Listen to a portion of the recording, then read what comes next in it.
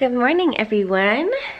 Or whatever time you're watching this. it's currently the morning for me. I put on some eye patches. Sometimes these are like really uncomfortable. And I don't know, I feel like they kind of like push on my eye, but then it's like I want it close enough to actually like do its job. I don't know, whatever. Okay, so I want to make some coffee and some body bloom. It's from um, Tropeaka by Sarah's Day. It's a pre-probiotic. I got approval from my doctor to have this while I'm pregnant. Um, and it just helps like inner glow, helps with your skin, your hair, your nails, um, your digestion, just all around some good stuff. I actually drank it for like a long, oh my gosh, my frizzes.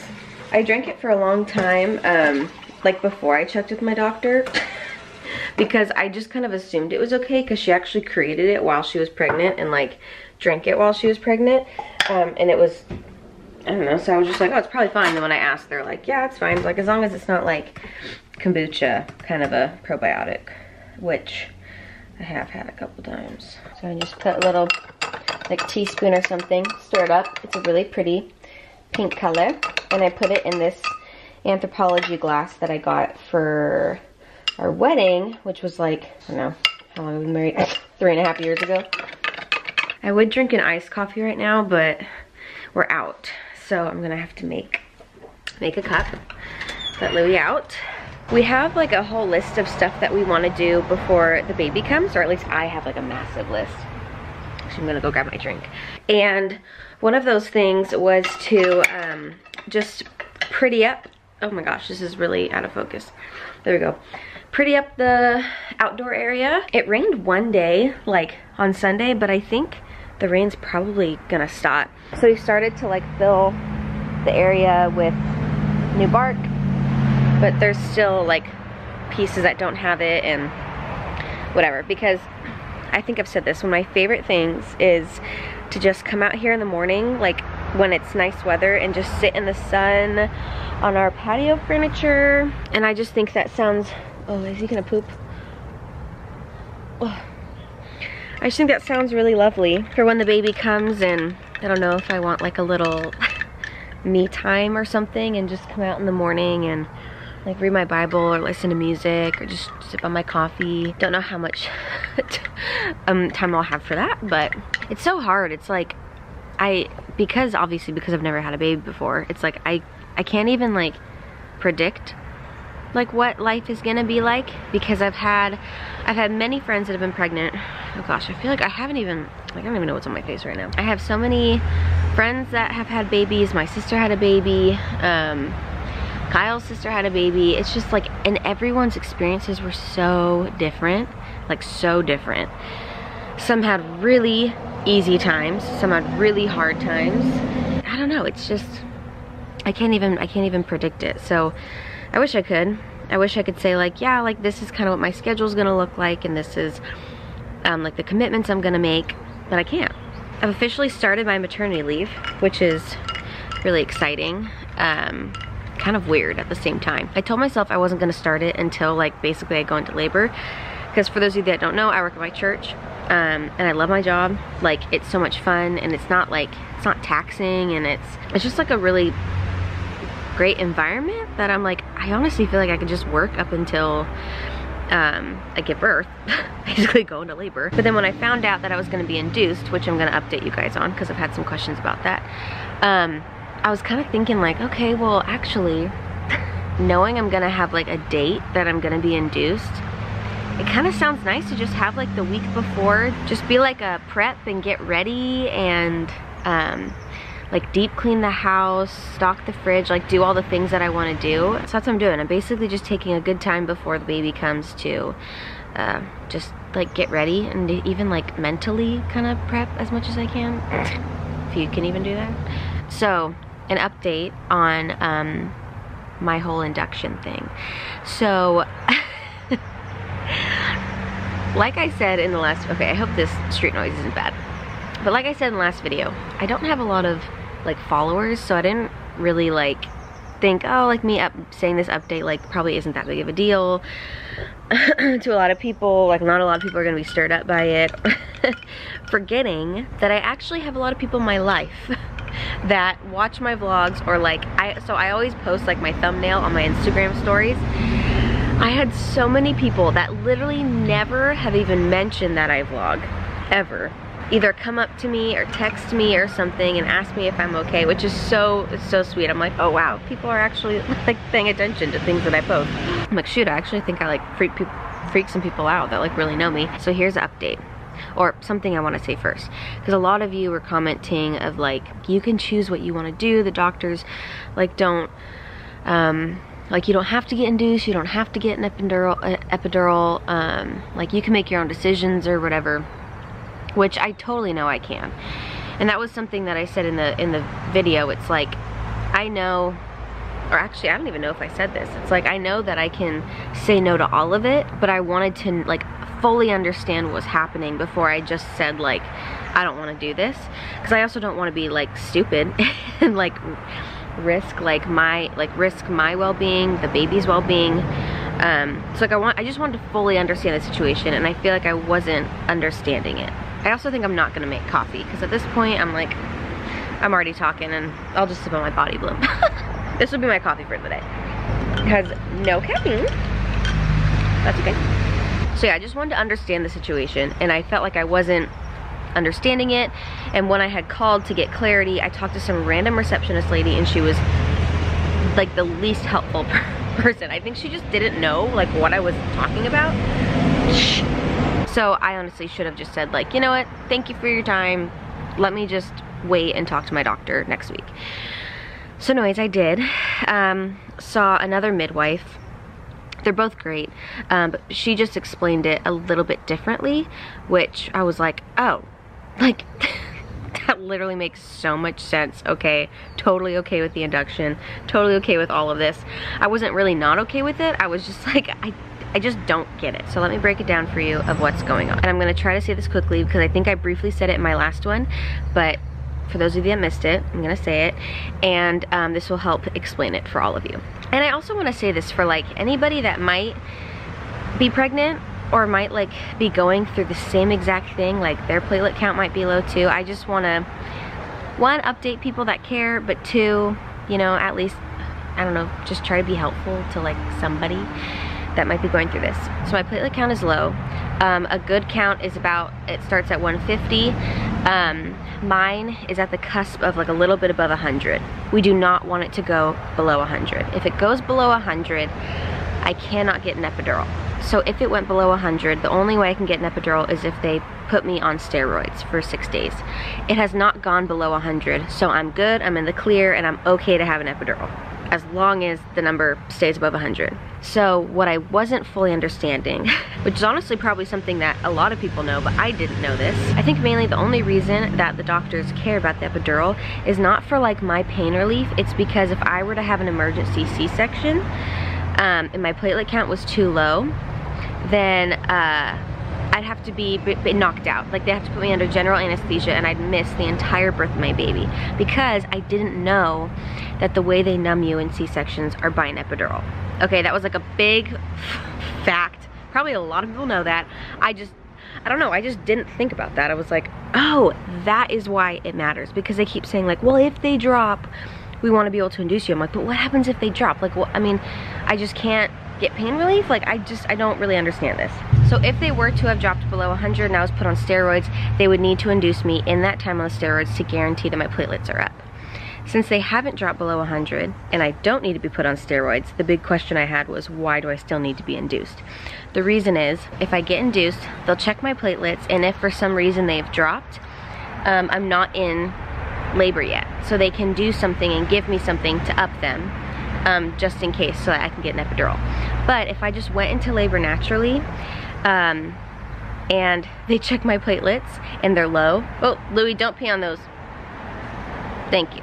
So if I just went into labor naturally and my platelets were too low, um, I'm in active labor and there's nothing they can do about it. They can't do anything to up the count and at that point we're just praying I don't need a C-section. I can say like don't induce me and I'm just taking the risk of me not needing an, uh, a C-section. And if I did, I'd just be knocked out. So it's like, I know I have the total like freedom to say I don't want to be induced, but it's like, I, I'd rather be induced and not risk missing the birth of my baby if I had to have a C-section, you know? Anyways, I hope that explains it. I'm gonna go back inside. Like I said in the last video, it's like they have so much to do. They're so busy. They don't have like all the time in the world to explain every single detail to all their patients. So I get it. My dearest Louie marked on our bed skirt this morning. Um, and he marked on our couch like two weeks ago. And I think it's because he knows the baby's coming. He'll only mark like around like when times, like what, like when something's going on. Like if we have gone on vacation or and we come back and he's angry or he knows we're leaving on vacation. Ooh, this is falling off. Has that been like that the whole time? I am so sorry. That's probably really irritating to look at. So I think he knows and I'm just like praying that it'll be good when she comes. That like he doesn't get too jealous or doesn't start marking every, oh gosh, we'll see. Um, on today's to-do, I have a, like a few appointments I need to get to today, um, but I have some little breaks in between. I really want to start a list, which I think I'm actually, I think I'm gonna start that right now of basically all the things I one want to just get done before the baby comes like random little things like shopping things. And then two, all the things I really wanna clean before the baby comes. Cause I wanna do like a big deep clean of the house, literally clean every crack and crevice of the house. I know it's like not necessary. It's like the fireplace being cleaned is not going to affect my daughter. but whenever I've done those like massive deep cleans, oh, like it just warms my soul and I'm just so happy. That's the great thing about being induced is like, I mean, if I don't go into labor before my induction date, is I can literally have the house spotless so that when we come home from the hospital, it's literally gonna be like just an absolute heaven of a home. I'm gonna go get a pen and paper. There is just something about writing with a pen on paper that is a million times better than like putting it in your phone. I just think it's wonderful. Okay, I want to finish the patio. I wanna like put like flowers around the house. We're going to freeze some soup. We do have a meal train going. So if there's any friends that wanna hop on the train, toot toot, I'll send you the link. But we have it signed up for every other day because we were advised that because sometimes people's meals are so large, you just have like so many leftovers that if you get a meal every single night, you're just like gonna way too much food. But there probably are gonna be nights that either people don't sign up or we actually didn't have leftovers. So we're gonna make a big batch of soup and freeze a ton of it. And this is like my favorite soup and I can seriously eat it like every single day. Make and freeze soup. I really want us to buy new towels. This is not necessary, but it's like one less thing that I need to worry about after she comes. You know what I mean? That's why so many of these things, it's like, this has nothing to do with the baby. It's just more like these are things I really want to get done. But when the baby comes, I don't want like all these like to-dos on my mind and then like stress myself out. So, just gonna write it all down. Okay, well, I'm just gonna try to sit here and think of more things we need to do, and then I'll talk to you in a bit. So I have to start getting ready for my day, but I've made my list it's so long. So my plan, to not overwhelm myself was once I finish my list, which I'm probably honestly gonna keep finding things to add to it, um, to then write it in my planner of like how I'm gonna execute all of it because as important as it is to make a list of all your to-dos, it's also important to um, think about time management and your stress and your mental health because a lot of people will make something like this, see something like this, and literally get so overwhelmed that they like don't even get anything done and just stress themselves out. Because so many of these things are really quick, like they don't take a lot of time. This is why I took the week off of work. Hello, good morning. It is two days after, um, and I am going to start a load of all the baby clothes.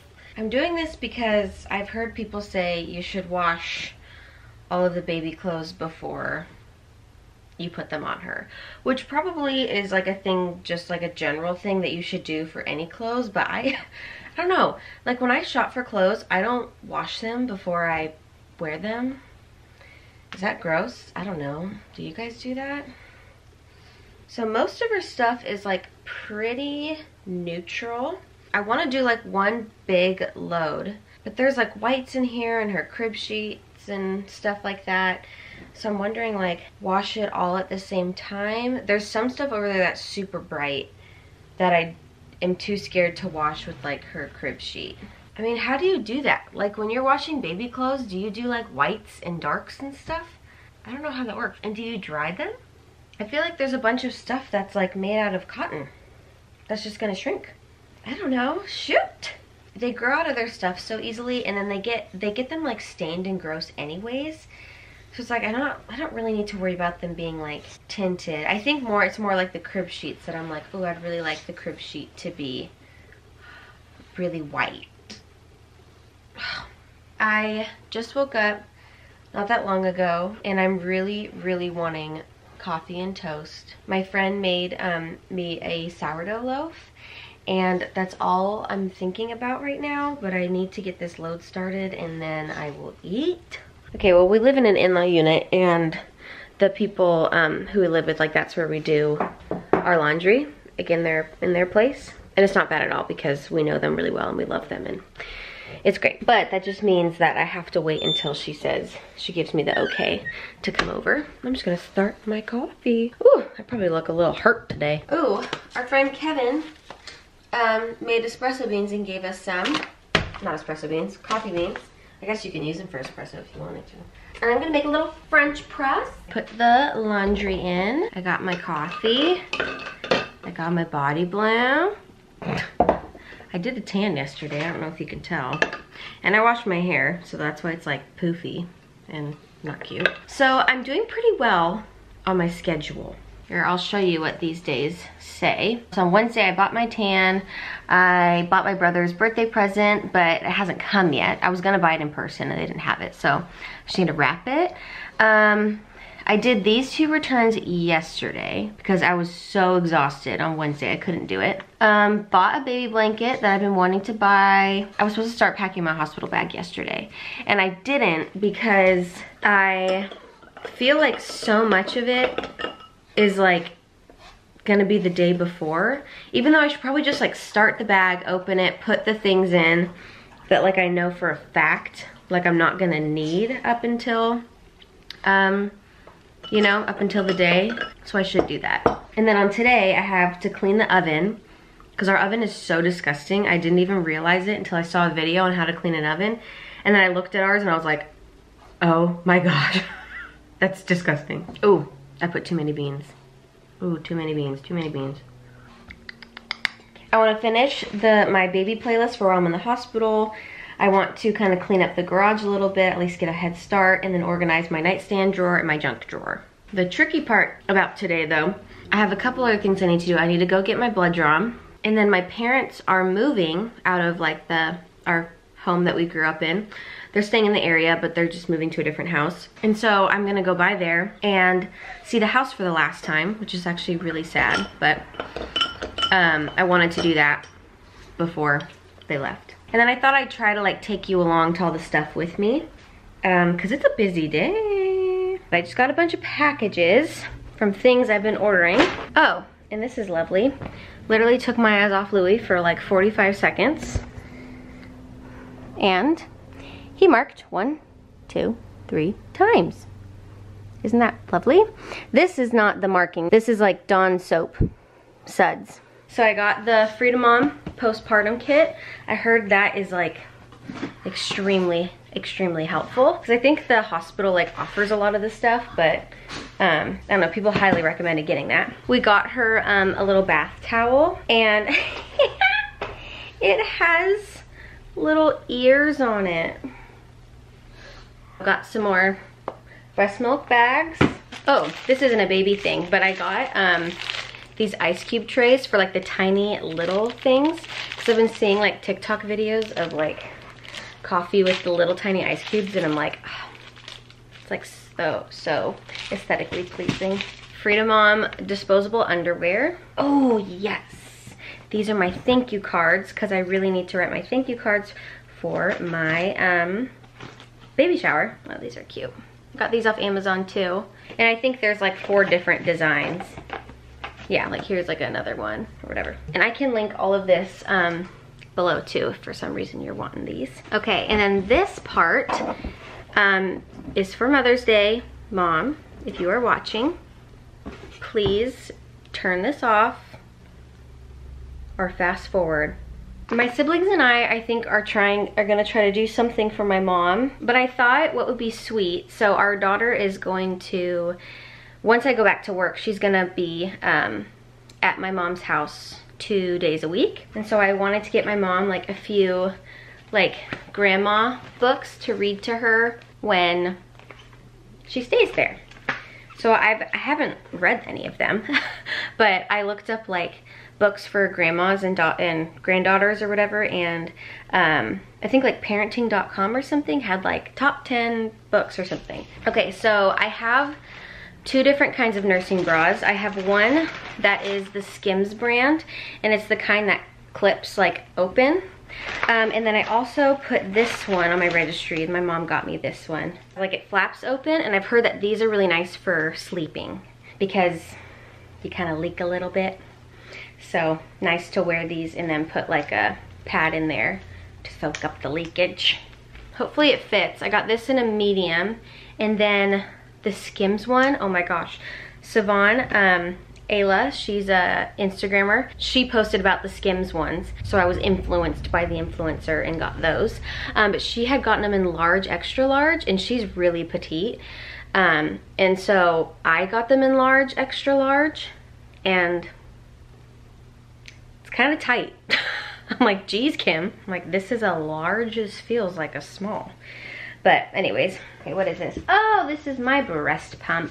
So I was planning on getting the Elvie breast pumps. The Elvies are the cordless, hands-free ones that just go into your nursing bra. I have a Babylist gift card, so I wanna buy them off of Babylist, but they're sold out there. So I've been waiting for those to come back in stock. You're typically prescribed, I think everyone is prescribed a um, breast pump. And so you just have to like contact your insurance and see like which ones you're eligible to get. This is the one that I got.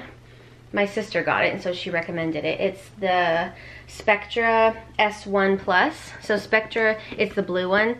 Um, Spectra has one that's pink and that one plugs into the wall and this one doesn't plug into the wall. Um, so with my insurance, I had to pay $75 extra for this one, um, but that's pretty good. Here's my breast pump. it's not very glamorous. I do really want to clean the oven. I have to be at the blood place in like two hours. And I actually read that cleaning the oven, it's only gonna take like an hour. But no, that, that's too rushed because I have to get ready. I think I'm just gonna clean the oven after, later. We're at my, or I'm at my parents' house. That is now no longer their house. Well, yeah. I'm partially doing this too so that I have um, my video of it, even though my mom sent a video.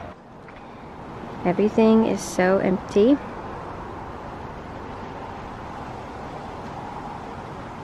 the empty dining area and kitchen and living room. This is weird. Okay, I'm gonna start with my bedroom that I was in.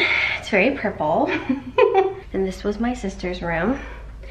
I feel like you guys probably don't really care too much, but this is mainly for me. And I'm probably gonna have like, this is my parents' room. Probably gonna have like one walk around or something where I just just me, without the camera. And this is my brother's room. I've always said that like, like I don't mind change or I like change and stuff. And then, and then like the more like change has started to um, happen in my life, I've realized I am not much of a change lover. So this is pretty weird. This is the house that we grew up in, or we lived in a house down the street.